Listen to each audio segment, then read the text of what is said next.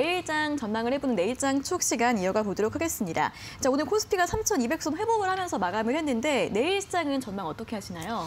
일단 뭐 오늘 같은 경우는 제일 주목했던 부분이 외국인들이 얼마나 사줄 거냐라는 거였는데 오늘 생각보다 많이 사줬고요. 5천억 네. 이상 매수를 했는데 사실은 가- 내일부터는 이제 이번 주에 각종 경제 지표들이 미국도 그렇고 우리나라도 나오, 나오는 주- 한 주라고 보시면 될 것 같습니다. 특히 우리나라의 5월 수출 동향이 내일 발표되기 때문에 일단 20일 중간 21일에 발표 21일 날 발표된 중간 20일치에 대한 결과는 굉장히 좋았는데 네.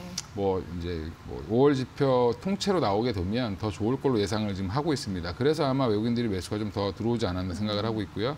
그 외에도 이번 주에 뭐 미국의 5월 ISM 제조업 지수라든지 뭐 비농업 부분 신규 고용이라든지 이런 것들이 발표될 텐데 이런 지수 영향에 따라서 좀 주가가 좀, 다, 좀 등락이 좀 나오는 그런 현상이 좀 나올 것 같고 뭐 아주 강한 상승의 흐름보다는 뭐 강보합이나 뭐 약보합 정도권에서 계속 움직이지 않겠나 생각을 하고 있습니다. 네, 코스피 예상 밴드를 어느 정도로 보시나요? 어, 뭐 3,150에 3,220 정도 선을 보고 있고요. 오늘 3,200을 돌파했기 때문에 뭐 부분적으로 3,230까지도 갈 수 있다고 어. 보고는 하- 하는데 네. 한3,220 정도가 맥시멈이지 않겠나 이렇게 보고 있습니다. 네, 상승하지만 강보합 쪽으로 전망을 해주셨습니다. 자, 여기까지 모두 의견 들어봤습니다. 차장님 오늘 분석 잘 들었습니다. 고맙습니다. 예, 감사합니다.